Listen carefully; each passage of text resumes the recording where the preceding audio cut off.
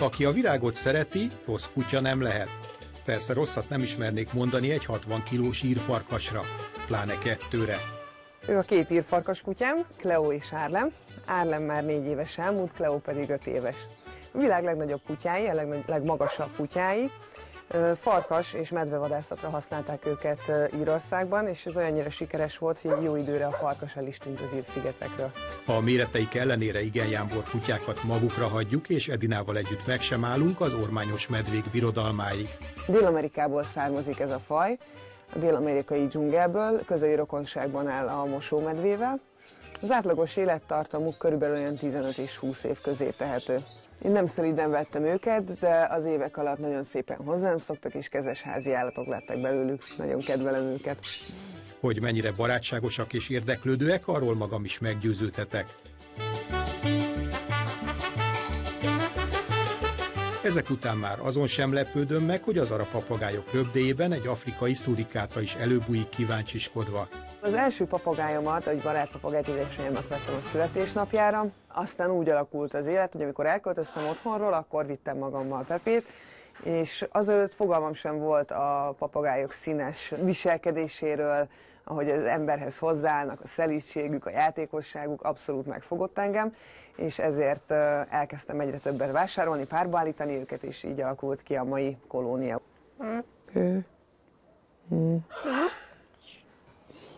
Az arák mellett Jákó, Amazon, barát, hullámos és törpe papagájok is színesítik a palettát. Szia! Kuksika? Gyere ma! Mindegyik papagáj más egyéniség, még fajon belül is, nem tudok két egyforma egyedet mondani itt jelenleg az én állományomban. Az arapapagályok inkább bújósabbak, lehet velük babázni, lehet őket simogatni. A Jákó papagáj az ugye nagyon jól beszél, az Amazon papagályok nagy bohócok, ők is beszélnek, játszanak, de ők annyira nem kedvelik, hogyha simogatva vannak. Úgyhogy teljesen más kategória. A madárparadicsom égköve Magyarország egyetlen óriás tukánja Dél- és Közép-Amerika esőerdejeiből származik, de remekül érzi magát a Solymári otthon falai között is. Nem is csoda, hiszen Edina minden szeretetet megad madarainak, igaz, mint mondja, sokat is kap tőlük. A papagájok rettentő színes egyéniségek, olyanok, mint a tollas kutyák, azzal megspékelve, hogy még beszélnek is. Beszélnek, játszanak, na rettentő okosak, intelligensek, szinte bármire megtaníthatóak. Úgyhogy abszolút kikapcsolódás velük való foglalkozás.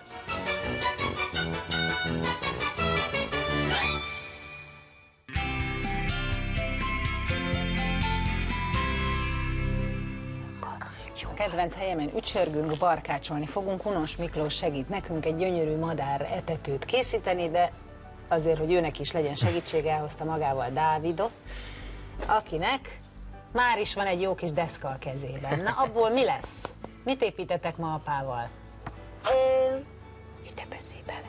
Azaz. madáretető És milyen madárnak? Kicsi madárnak, vagy nagy madárnak? gólyának, vagy, Gólyának. vagy sajsnak. Sasnak. Nagyon jó. Ö, ha mégsem, mert esetleg a gólya elrepült volna véletlenül, kedvencem. akkor milyen madarak? sas. A sas. Jó, a sas. És még a sason kívül milyen madarak járhatnak rá erre a A madárra? vándorsolyom. Kicsit kisebb madaraknak fogunk etetőt készíteni. Egyébként érdemes etető készítés előtt picit körbenézni a Mégis mi lakik a környékünkön. hogy, hogy mi lakik, már alapvetően ugye Nehogy hiába várjuk a gólyát. Igen, de én itt most megpróbálok egy, e, mm, egy ilyen koedukált, fogalmazhatok így etetőt készíteni, ami mm, mondjuk vadgalamboknak vagy cinkéknek, talán rigóknak, bár a rigók inkább a földön csipegetnek, verebeknek is egyaránt használható lesz majd. Én nekem vannak madaraim, illetve egy, pontosabban, remélem egyszer lesz kettő, és amikor bármit fából készítek neki, akkor mindig azon aggódom, hogy jó minőségű-e a fa, meg hogy elég tiszta-e a fa, amit én csak úgy a természetből behozok. Mire figyeljünk az alapanyagoknál? Alapvetően, ugye én fenyőből fogok dolgozni, az a legkönnyebben elérhető. Tulajdonképpen minden fából dolgozhatunk, ami a lényeg, hogy ha olyan etetőt szeretnénk, ami több telet kibír, mert nyilván ez a cél, akkor valamivel érdemes ezt le, lekezelni előtte. És mindenféleképpen olyan anyagokat használjunk, ami természetbarát, tehát semmiféleképpen ne használjunk szintetikus lakkokat, pálcokat, hanem ugye most már mindenhol lehet víz alapú ö, vegyszereket kapni, és azokkal érdemes leápolni használatvétel előtt a, a madáretetőt, és ha már a higiénia szóba került, azért alapvetően ez egy nagyon fontos dolog, hogy ez egy csodálatos dolog megépíteni egy madáretetőt, de ez valahol egy felelősség is. Emellett azért ugye azt is, ha már egyszer... Na, kezdjük azzal, hogy hogy fogunk hozzá. Tehát. Ez, ez, nincs, ez nincs be, belakó. Nincs, ez, ez egy teljesen nyers dolog lesz.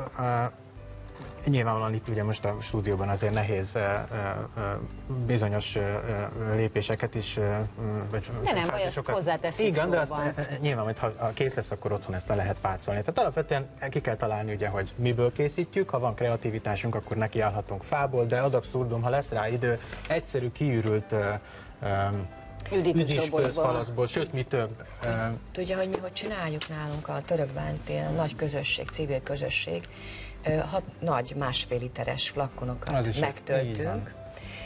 Ugye? Fernengel András, ami nagy vezetőnk otthon Törökbálinton, és mindig megvan az a család, aki körbe járja ott az erdőt, és visszük nagy szatyorban a, a magot, és közben megtöltjük ezeket az üvegeket. Tehát, hogyha nincs ilyen gyönyörű fa a rendelkezésünk, nem áll a rendelkezésünkre, akkor másfél literes uh-huh. műanyagot így meg lehet fúrni, és akkor Igen. így lefejjel lefelé, és akkor szépen így kicsipegeti. Bocsánat, csak Abszolút, igen, igen, és ez egy nagyon fontos dolog, hogy bármiből is csinálunk. Ugye itt a lényeg az, hogy amikor fagypont alá süllyed a hőmérséklet éjjel, onnantól kezdve kezdődik a madaraknak az igazi tél, és ha, ha megszokják, ha olyan helyre rakjuk, ami biztonságos mindig legyen élelmiszer. akkor mindig legyen Igen. élelem, mert elég nagy távolságokat is meg Igen, tudnak tenni igen. Na, a megszokott... Félszemmel figyeljük, bocsánat, hogy olyan zajlik a munka, és egy gondolat erejéig visszatérünk Edina madaraira. Ugye Edinát láthatták az iménti kisfilmünkben, gyönyörű papagájaival, kutyusaival és hasonló jóképű állatokkal. Szóval Edina madarait élőben is láthatják, hogyha november 13-a és 15-e között ellátogatnak a Vajda Hunyad várába, a Nemzetközi Díszmadár kiállításra és Magyar Bajnokságra egyébként további 1500 madár is ott lesz, úgyhogy biztos, hogy nagyon színes, érdekes, látnivalókkal tele kiállítás lesz. Úgyhogy mi most Miklóst hagyjuk dolgozni, Dávidka, te is segítsél, légy szíves apának, biztos nem kell